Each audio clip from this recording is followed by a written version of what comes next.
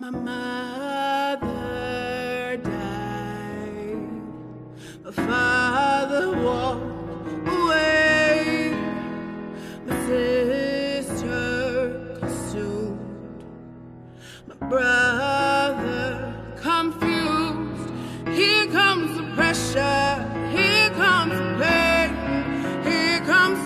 Hey y'all, it's Courtney here. I'm so excited. We're here at The Real Woman, the resilient woman, the expiring woman, the aspiring woman, and the laboring woman. We are so excited. This is our fourth brunch, and we're here. We're excited. We're ready to pour out to these women.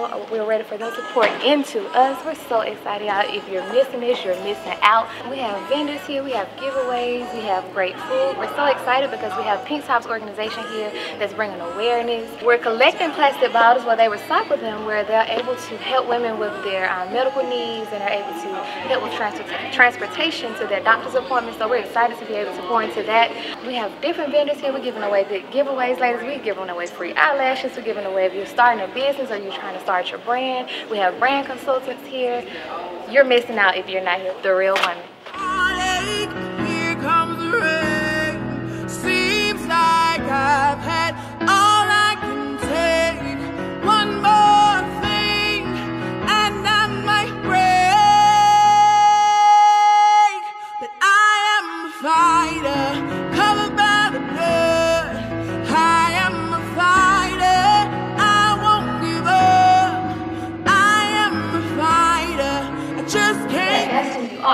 You're also able to come against those things that people said that you are and people said that you weren't.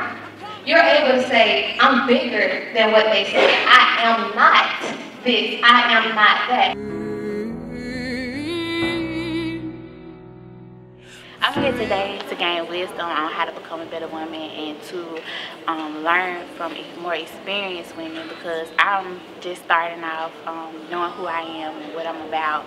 And so I'm definitely here to learn, you know, more about what I could become and everything that they have to offer. I'm willing to listen and to learn from it.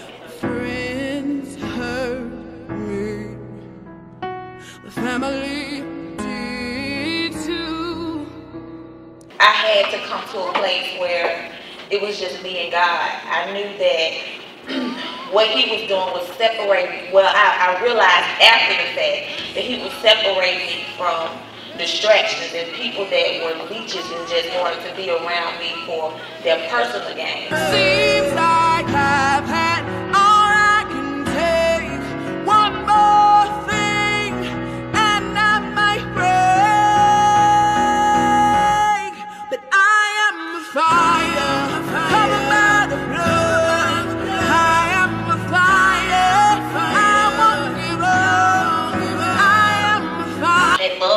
God because it's an unwavering love.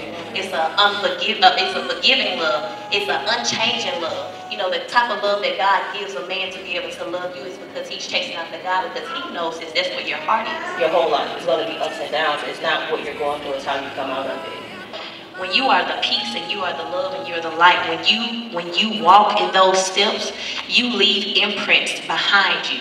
And when a person falls in your step, they're falling in those things that you left behind you. What did you leave behind? Did you leave behind love? Did you leave behind the word of God? Did you leave behind the, the spirit in, in your favor, the things that you have allowed people to, to grasp upon you? You leave those deep imprints. And when people fall in those, you want them to have something that was left that's for good, not for bad. God, we ask that you give them strength, you give them courage, and make them who they are. I am. I am strong. I am bold. I am you. I am me. I am Shantae Renee. Thank you, God, for bringing this, this gift together, this vision together. Bless each and every one of you on your journey home. In your name that I pray, amen. Amen. God,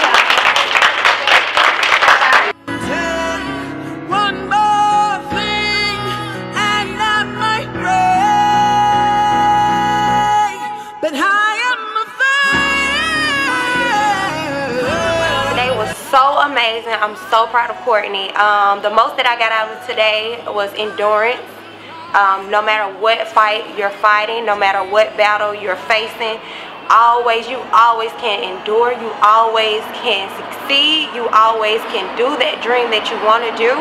Just stay focused, stay positive, plant good seeds so good seeds can come back to you.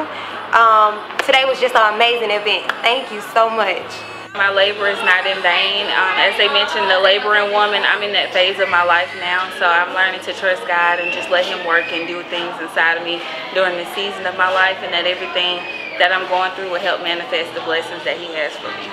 Aspire to inspire. Just continue to push, um, praying until something happens. Not only just praying, but putting in that action and that work at the same time. The real woman.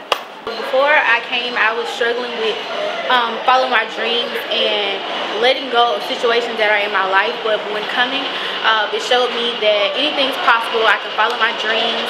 I can do whatever, whatever I would like to do as long as I have faith in God. So.